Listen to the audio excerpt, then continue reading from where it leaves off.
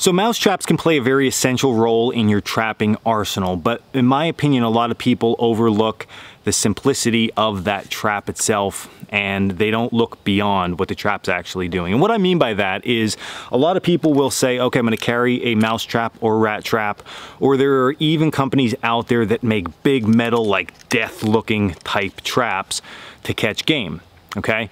But the thing is that if we look at this, a tool like this to secure bait, it just opens up our world, gives us so many more options, and it allows us to get bigger, more calorie dense food.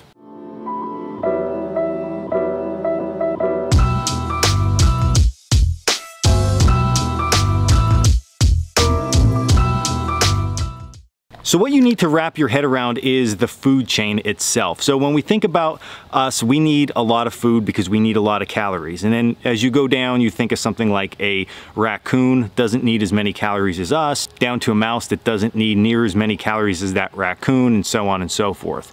But when you understand that and you really think about that, which I think many people do, but it's overlooked, is the fact that that mouse, okay, and we can trap it really easily, all right, with just a little bit of bait on here.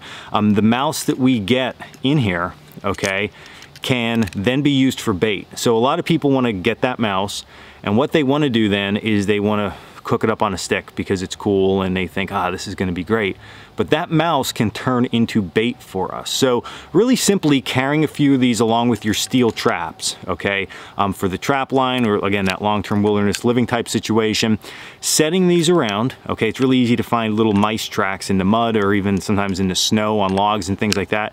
Set this, you get the mouse, and then think about what animals are gonna go after that. So fox, even a coyote, okay?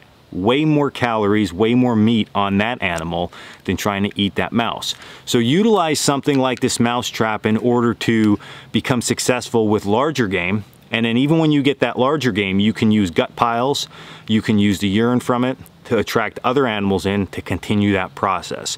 So that's something that's very important to understand when it comes to trapping with the winter time coming um, because a lot of people are gonna go out and experiment and if you run a trap line, um, to think about these things because it makes a huge, huge difference. And especially in a long-term setting when we would think about we don't have lure, we don't have bait, how are we gonna get the animal into that trap? So other than blind sets, we can utilize small, small, small game to get bigger and medium-sized game to fuel this big, big game. Okay, so just take that into consideration. I was just thinking about this because I had these out around my trapping supplies when I was going through them today.